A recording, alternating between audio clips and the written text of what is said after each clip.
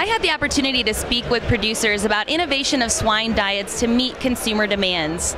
There was a lot of great questions from the crowd asking, how do we talk to consumers about going antibiotic free? What would the labels say? What else could we do besides enrichment or changing to organic minerals in the diet? So we talked about not only innovation in the swine diets, but also innovation of their marketing. How can they talk to consumers about pork and tell consumers that pork products are a healthy option?